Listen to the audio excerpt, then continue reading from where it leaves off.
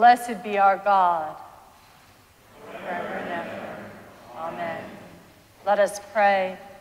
Almighty God, we pray you graciously to behold this your family, for whom our Lord Jesus Christ was willing to be betrayed and given into the hands of sinners and to suffer death upon the cross, who now lives and reigns with you and the Holy Spirit, one God, forever and ever. Amen.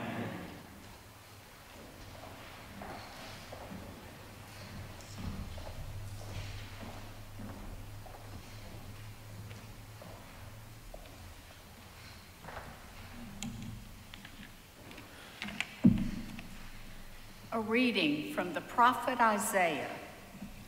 See, my servant shall prosper. He shall be exalted and lifted up, and shall be very high. Just as there were many who were astonished at him, so marred was his appearance, beyond human semblance, and his form beyond that of mortals. So he shall startle many nations. Kings shall shut their mouths because of him. For that which had not been told them, they shall see, and that which they had not heard, they shall contemplate. Who has believed what we have heard, and to whom has the arm of the Lord been revealed? For he grew, grew up before him like a young plant, and like a root out of dry ground.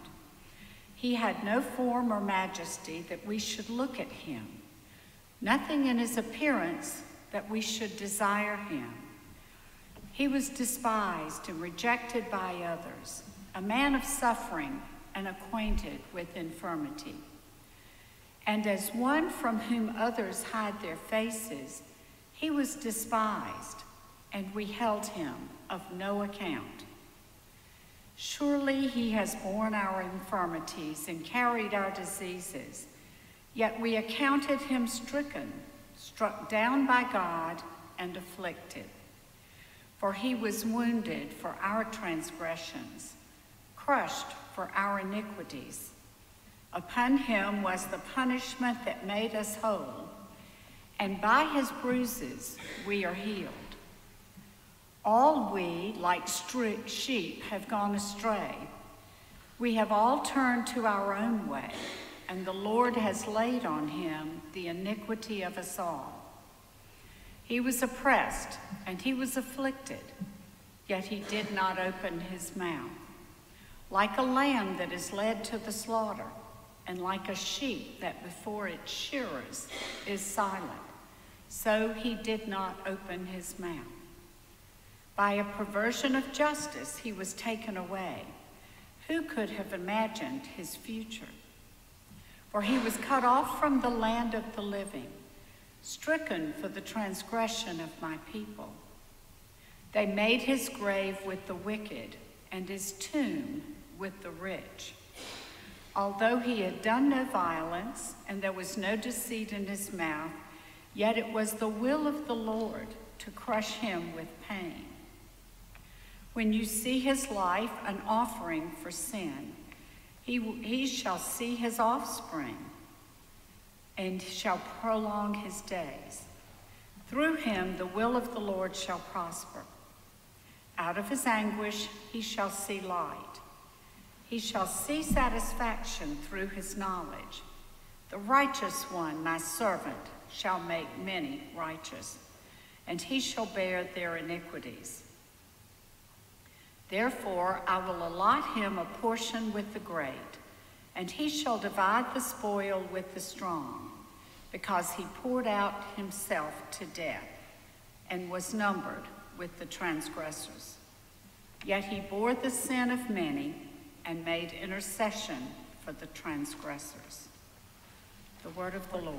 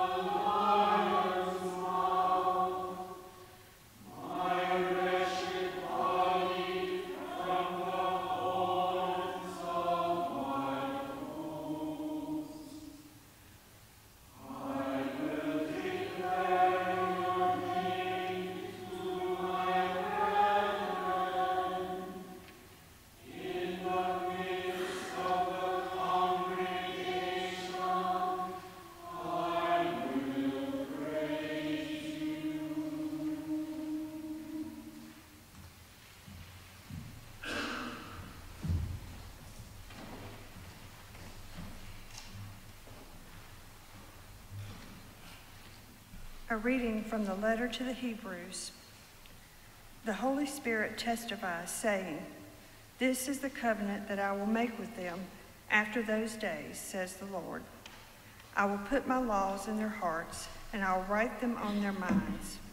He also adds, I will remember their sins and their lawless deeds no more. Where there is forgiveness of these, there is no longer any offering for sin. Therefore, my friends, since we have confidence to enter the sanctuary by the blood of Jesus, by the new and living way that he opened for us through the curtain, that is, through his flesh, and since we have a great priest over the house of God, let us approach with a true heart and full assurance of faith, with our hearts sprinkled clean from an evil conscience and our bodies washed with pure water. Let us hold fast to the confession of our hope without wavering, for he who has promised is faithful. And let us consider how to provoke one another to love and good deeds, not neglecting to meet together, as is the habit of some, but encouraging one another, and all the more as you see the day approaching. The word of the Lord.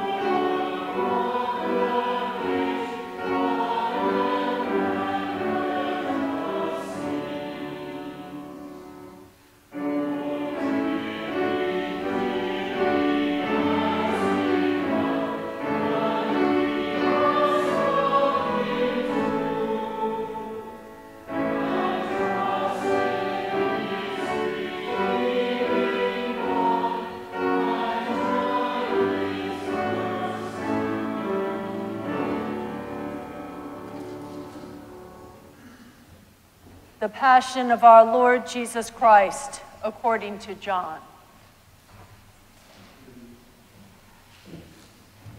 Jesus went out with his disciples across the Kidron Valley to a place where there was a garden, which he and his disciples entered. Now Judas also knew the place because Jesus often met there with his disciples. So Judas brought a detachment of soldiers together with police from the chief priests and the Pharisees, and they came there with lanterns and torches and weapons. Then Jesus, knowing, excuse me, then Jesus, knowing all that was to happen to him, came forward and asked them, Whom are you looking for? They answered, Jesus of Nazareth. Jesus replied, I am he. Judas, who betrayed him, was standing with them. When Jesus said to them, I am he, They stepped back and fell to the ground. Again, he asked them, Whom are you looking for? And they said, Jesus of Nazareth. Jesus answered, I told you that I am he.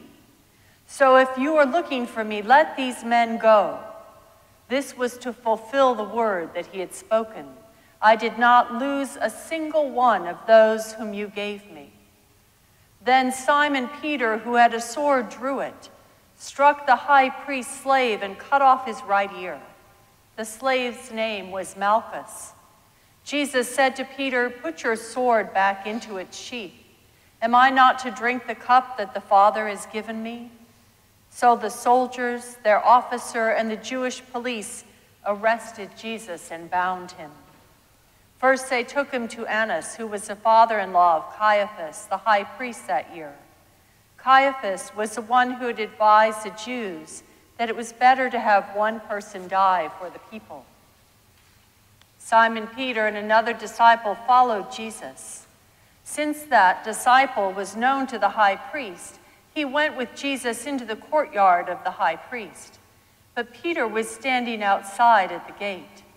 So the other disciple, who was known to the high priest, went out, spoke to the woman who guarded the gate, and brought Peter in. The woman said to Peter, You are not also one of this man's disciples, are you? He said, I am not. Now the slaves and the police had made a charcoal fire because it was cold and they were standing around it, warming themselves. Peter also was standing with them and warming himself. Then the high priest questioned Jesus about his disciples and about his teaching. Jesus answered, I have spoken openly to the world. I have always taught in synagogues and in the temple where all the Jews come together. I've said nothing in secret. Why do you ask me? Ask those who heard what I said to them. They know what I said. When he had said this, one of the police standing nearby struck Jesus on the face, saying, Is that how you answer the high priest? Jesus answered, If I have spoken wrongly, testify to the wrong. But if I have spoken rightly, why do you strike me? Then Annas sent him bound to Caiaphas, the high priest. Now Simon Peter was standing and warming himself. They asked him, You are not also one of his disciples, are you? He denied it and said, I am not. One of the slaves of the high priest, a relative of the man whose ear Peter had cut off, asked, Did I not see you in the garden with him? Again, Peter denied it, and at that moment the cock crowed. Then they took Jesus from Caiaphas to Pilate's headquarters. It was early in the morning. They themselves did not enter the headquarters so as to avoid ritual defilement and to be able to eat the Passover. So Pilate went out to them and said, What accusation do you bring against this man? They answered, If this man were not a criminal, we would not have handed him over to you. Pilate said to them, Take him yourselves and judge him according to your law. The Jews replied, We are not permitted to put anyone to death. This was to fulfill what Jesus had said when he indicated the kind of death he was to die. Then Pilate entered the headquarters again, summoned Jesus, and asked him, Are you the king of the Jews? Jesus answered, Do you ask this on your own, or did others tell you about me? Pilate replied, I'm not a Jew, am I? Your own nation and the chief priests have handed you over to me. What have you done? Jesus answered, My kingdom is not from this world. If my kingdom were from this world, my followers would be fighting to keep me from being handed over to the Jews. But as it is, my kingdom is not from here. Pilate asked him, So you are a king? Jesus answered, You say that I am a king. For this I was born, and for this I came into the world, to testify to the truth. Everyone who belongs to the truth listens to my voice. Pilate asked him, What is truth? After he had said this, he went out to the Jews again and told them, I find no case against him. But you have a custom that I release someone for you at the Passover. Do you want me to release for you the king of the Jews? They shouted in reply, Not this man, but Barabbas. Now Barabbas was a bandit. Then Pilate took Jesus and had him flogged. And the soldiers wove a crown of thorns and put it on his head, and they dressed him in a purple robe. They kept coming up to him, saying, Hail, King of the Jews, and striking him on the face. Pilate went out again and said to them, Look, I am bringing him out to you to let you know that I find no case against him. So Jesus came out, wearing the crown of thorns and the purple robe. Pilate said to them, Here is the man. When the chief priests and the police saw him, they shouted, Crucify him! Crucify him! Pilate said to them, Take him yourselves and crucify him. I find no case against him. The Jews answered him, We have a law, and according to that law, he ought to die because he has claimed to be the Son of God. Now, when Pilate heard this, he was more afraid than ever. He entered his headquarters again and asked Jesus, Where are you from? But Jesus gave him no answer. Pilate therefore said to him, Do you refuse to speak to me? Do you not know that I have power to release you and power to crucify you? Jesus answered him, You would have no power over me unless it had been given you from above. Therefore, the one who handed me over to you is guilty of a greater sin. From then on, Pilate tried to release him, but the Jews cried out, If you release this man, you are no friend of the emperor. Everyone who claims to be a king sets himself against the emperor. When Pilate heard these words, he brought Jesus outside and sat on the judge's bench at a place called the Stone Pavement or in Hebrew, Gabbatha. Now it was a day of preparation for the Passover, and it was about noon. He said to the Jews, Here is your king. They cried out, Away with him, away with him, crucify him. Pilate asked them, Shall I crucify your king? And the chief priests answered, We have no king but the emperor. Then he handed him over to them to be crucified.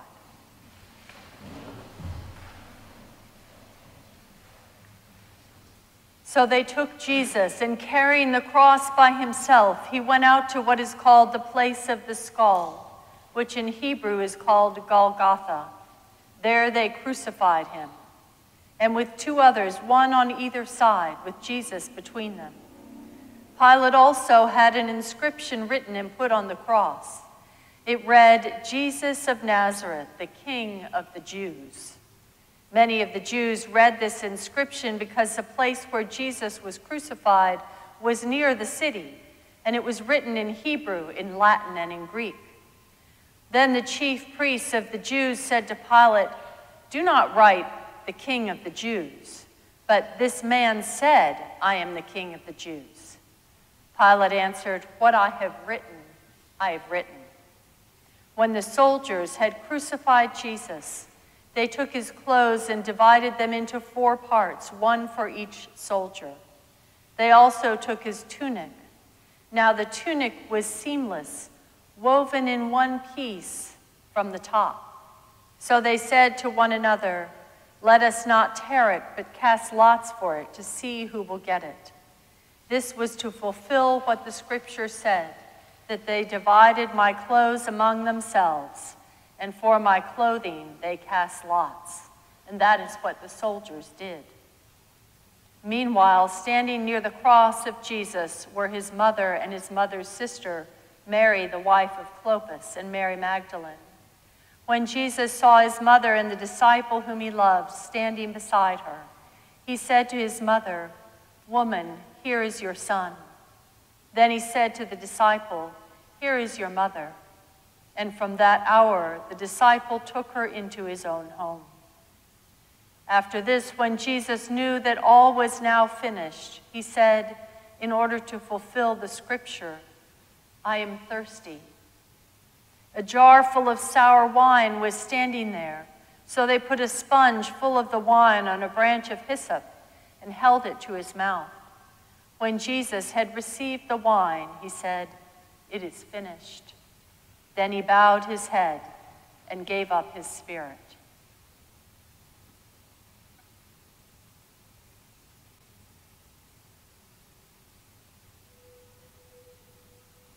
Since it was the day of preparation, the Jews did not want the bodies left on the cross during the Sabbath, especially because that Sabbath was a day of great solemnity. So they asked Pilate to have the legs of the crucified men broken and the bodies removed. Then the soldiers came and broke the legs of the first and of the others who had been crucified with him. But when they came to Jesus and saw that he was already dead, they did not break his legs. Instead, one of the soldiers pierced his side with a spear, and at once blood and water came out. He who saw this has testified so that you also may believe. His testimony is true, and he knows that he tells the truth. These things occurred so that the scripture might be fulfilled. None of his bones shall be broken. And again, another passage of scripture says, they will look on the one whom they have pierced. After these things, Joseph of Arimathea, who was a disciple of Jesus, though a secret one because of his fear of the Jews, asked Pilate to let him take away the body of Jesus. Pilate gave him permission, so he came and removed his body. Nicodemus, who had at first come to Jesus by night, also came, bringing a mixture of myrrh and aloes weighing about a hundred pounds. They took the body of Jesus and wrapped it with the spices in linen cloths, according to the burial custom of the Jews. Now there was a garden in the place where he was crucified. And in the garden there was a new tomb in which no one had ever been laid. And so, because it was the Jewish day of preparation and the tomb was nearby, they laid Jesus there.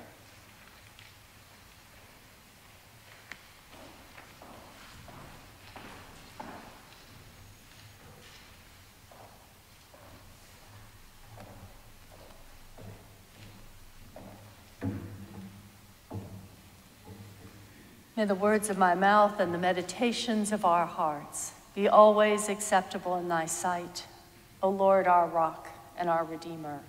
Amen.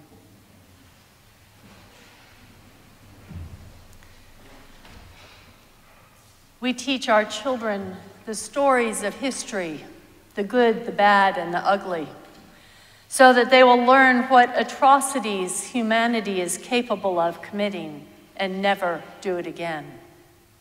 We want to prevent ourselves and our children from making the same mistakes of the past. We want to be better, to treat others with love and compassion, and not to be guilty of the sins of the past.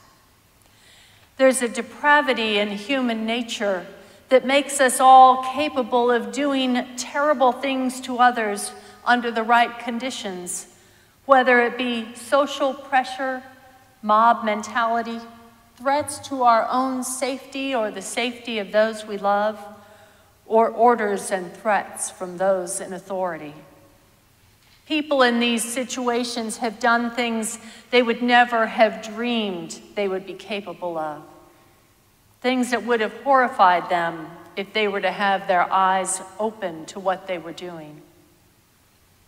Can we be so sure we would not have run when the soldiers came to arrest Jesus?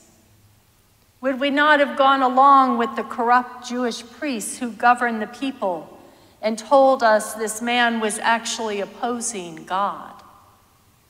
If we were Pilate, would we have been willing to stand up to the blackmail of the priests who threatened to turn him into Caesar as one who not only was failing to keep the peace, but was defending one who was leading a potential revolt. How much can we trust our moral integrity to stand up against threat without having really been tested, without being truly committed to honor the way of Christ even unto death. Under those conditions, we too might be counted among the betrayers, those who denied Christ, those who even participated in the physical and emotional torture of Jesus. Indeed, there have certainly been so many times when we've unwittingly done so in what may have seemed to be small ways without even being aware of what we're doing. It's not an issue of race or creed. It's something we are all vulnerable to in our fallen, sinful human nature. When Jesus left the upper room where he'd shared a Passover meal with his disciples to go to the Garden of Gethsemane to pray, they walked through the Kidron Valley. It was the same route David had taken centuries before when he was forced to flee Jerusalem because of the betrayal of his son Absalom. His own son had betrayed him and sought his death. Jesus had just been betrayed unto death by one of his closest disciples. David went up to the Mount of Olives weeping.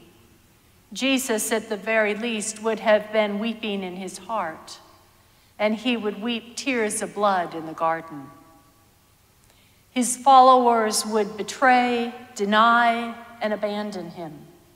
The chief priests and religious authorities who were meant to lead the people to God were now seeking to put to death God made flesh. The powerful Roman government, who was meant to protect them and keep the peace, was unwilling to stand up to corruption and to reveal the truth and uphold justice. All that was of the world had failed. What we see in the garden and throughout the mock trial, the suffering and death of Jesus, is not the defeat of the Son of God by the powers of this world, but the very real power of God being intentionally set aside to suffer and die on our behalf. Even Jesus' enemies knew he was powerful, and they weren't taking any chances. John tells us that Judas arrived with a detachment of soldiers along with the police from the chief priests and the Pharisees. A detachment of soldiers is a huge number, up to as many as five or six hundred men, and they came armed to arrest Jesus. Yet, even in those numbers, when Jesus answered their search for Jesus of Nazareth, saying, I am He, speaking the name of God given to Moses, I am. They stepped back and fell to the ground. 600 armed men. He's in control every step of the way. He tells the, the soldiers to let the disciples go. He responds to Peter's impetuous act of cutting off the ear of Malchus by healing him. Jesus is in control of what's going on, even as he is being arrested. No one else will be hurt in the process. No one else will be inhibited from hearing and understanding the good news because they have been a casualty along the way. The Aramaic word for of Nazareth means victorious one or of a powerful family. Jesus will be the victor, even though it won't be apparent at first, and it won't be the way that we will have anticipated. No torture the soldiers could use was able to make Jesus cry out or beg for mercy. He took it all with silence. Even though they used the whip that was nicknamed the scorpion because the leather was laced with pieces of metal and bone designed to tear the flesh and sinews from the bone, leaving only enough life in the victim for them to still be crucified. He refused to answer Pilate to defend himself. He knew it was the Father's will for him to be crucified, to pay the price for the sins of the world, and to restore the relationship between God and his people.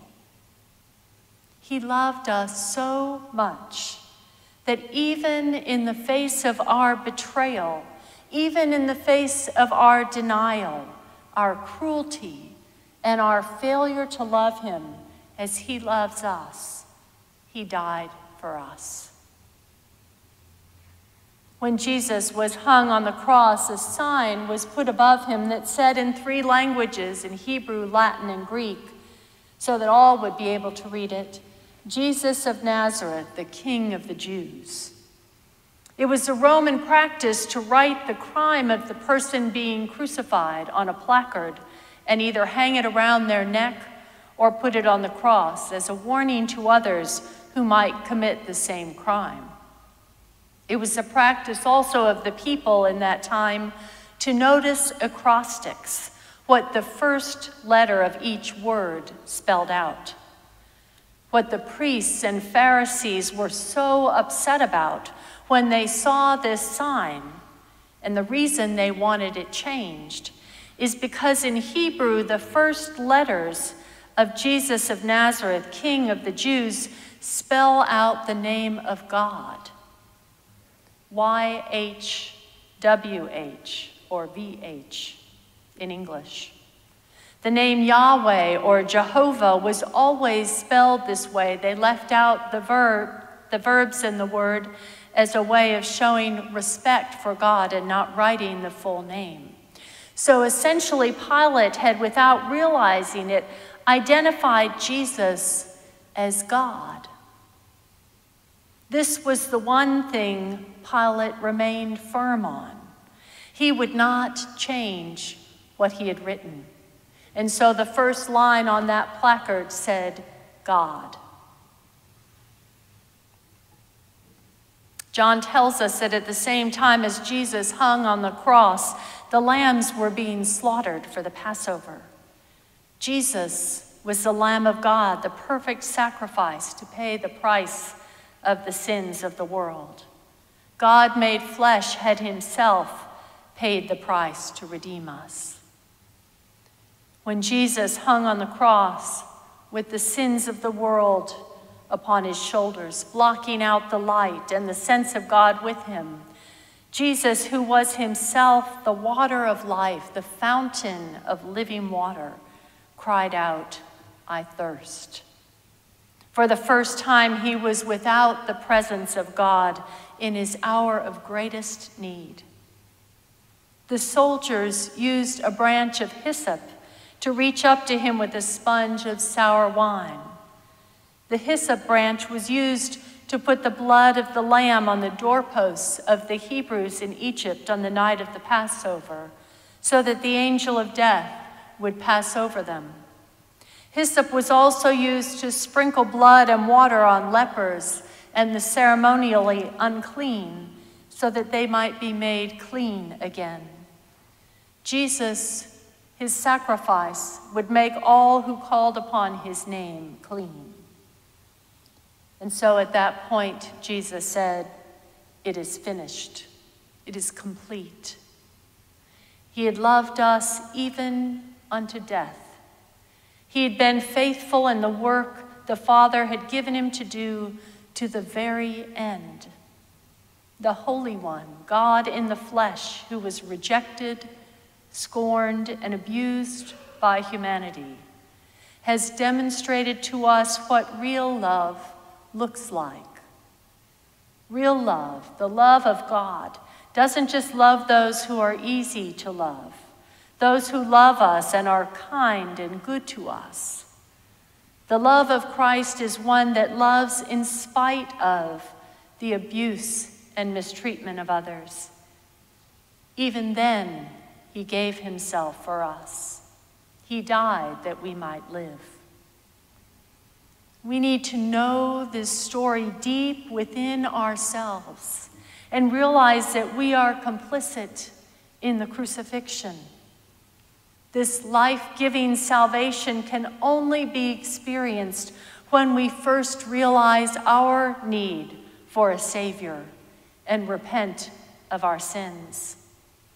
It's only in realizing the magnitude of our sin that we are able to realize the magnitude of God's great love for us. Even while we were yet sinners, Christ died for us.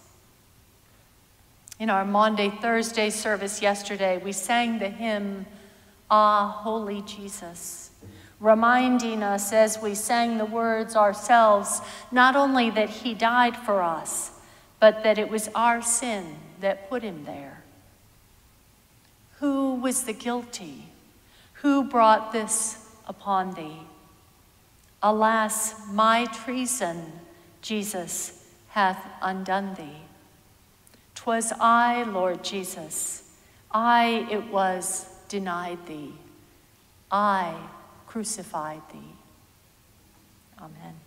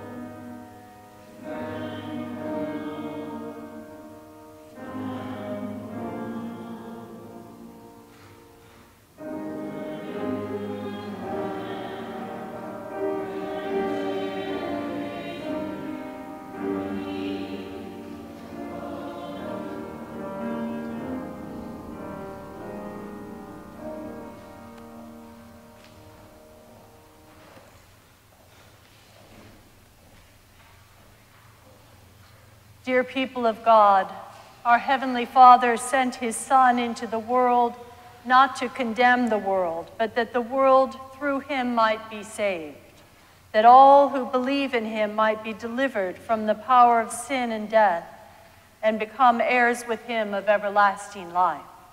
We pray, therefore, for people everywhere according to their needs.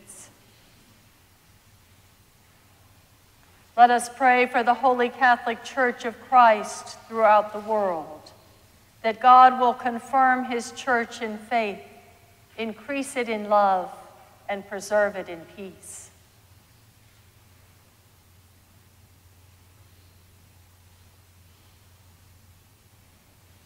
Almighty and everlasting God, by whose Spirit the whole body of your faithful people is governed and sanctified, receive our supplication and prayers which we offer before you for all members of your holy church, that in their vocation and ministry they may truly and devoutly serve you through our Lord and Savior, Jesus Christ.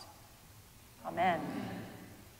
Let us pray for all nations and peoples of the earth and for those in authority among them, that by God's help they may seek justice and truth and live in peace and concord.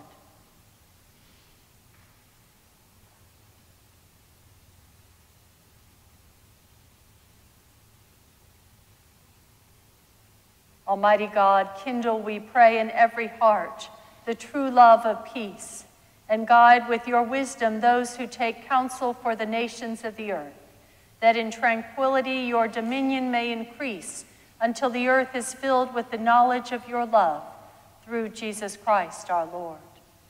Amen.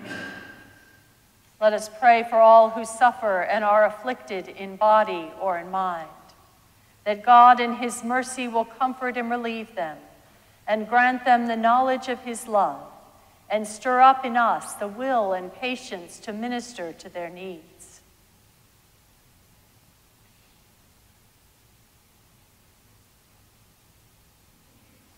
Gracious God, the comfort of all who sorrow, the strength of all who suffer, let the cry of those in misery and need come to you, that they may find your mercy present with them in all their afflictions. And give us, we pray, the strength to serve them for the sake of him who suffered for us, your Son, Jesus Christ our Lord. Amen. Let us pray for all who have not received the gospel of Christ that God will open their hearts to the truth and lead them to faith and obedience.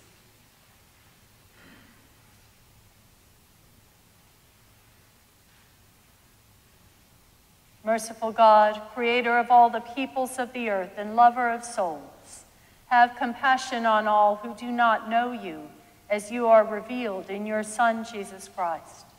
Let your gospel be preached with grace and power to those who have not heard it.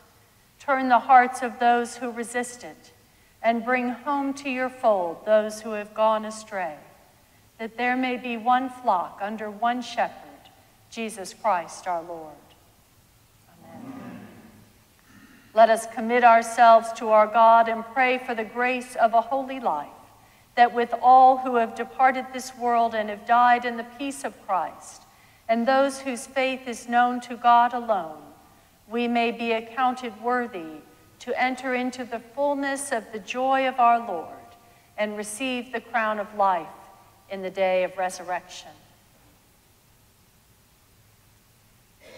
O God of unchangeable power and eternal light, look favorably on your whole church, that wonderful and sacred mystery, by the effectual working of your providence carry out in tranquility the plan of salvation. Let the whole world see and know that things which were cast down are being raised up, and things which had grown old are being made new, and that all things are being brought to their perfection by him through whom all things were made, your Son, Jesus Christ our Lord, who lives and reigns with you in the unity of the Holy Spirit, one God, forever and ever. Amen.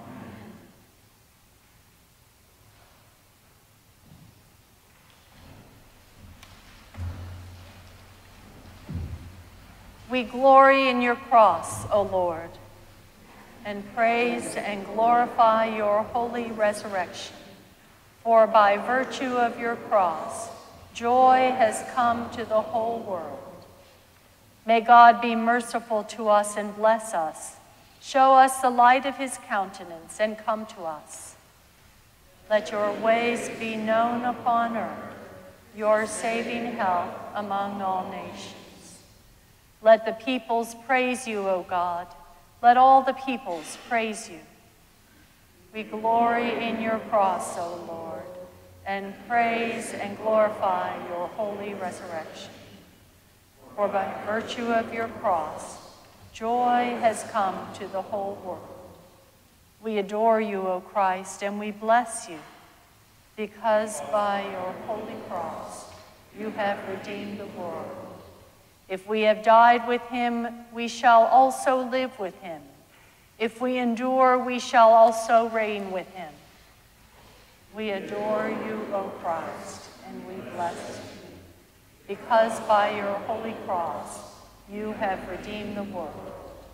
O Savior of the world, who by thy cross and precious blood hast redeemed us, save us and help us, we humbly beseech thee.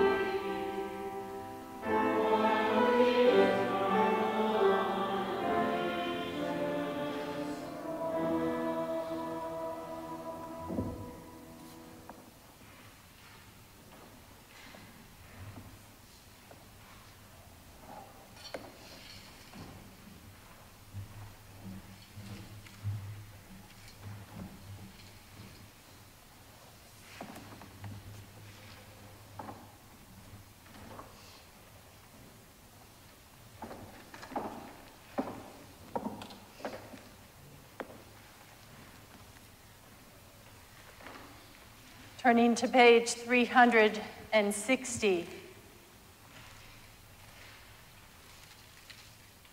Let us confess our sins against God and our neighbor.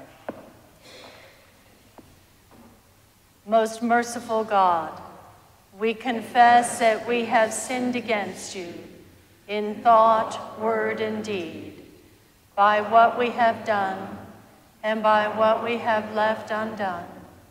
We have not loved you with our whole heart. We have not loved our neighbors as ourselves. We are truly sorry, and we humbly repent. For the sake of your Son, Jesus Christ, have mercy on us and forgive us, that we may delight in your will and walk in your ways to the glory of your name.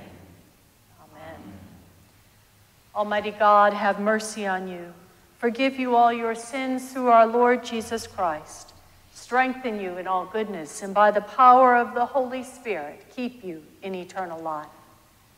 Amen. And now, saying together the words our Lord Jesus taught us Our Father, who art in heaven, hallowed be thy name. Thy kingdom come, thy will be done, on earth as it is in heaven. Give us this day our daily bread, and forgive us our trespasses, as we forgive those who trespass against us. And lead us not into temptation, but deliver us from evil. For thine is the kingdom, and the power, and the glory, forever and ever. Amen.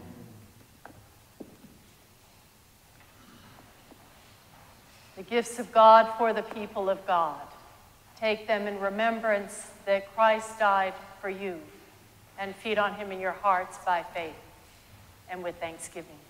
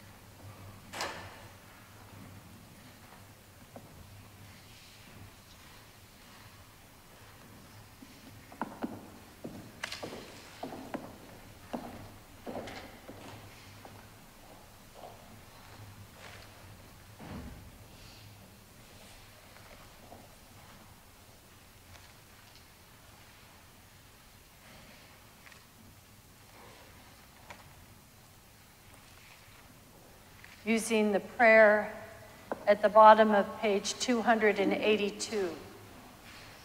Let us pray. Lord Jesus Christ, Son of the living God, we pray you to set your passion, cross, and death between your judgment and our souls, now and in the hour of our death. Give mercy and grace to the living, pardon and rest to the dead. To your holy church, peace and concord, and to us sinners, everlasting life and glory. For with the Father and the Holy Spirit, you live and reign, one God, now and forever.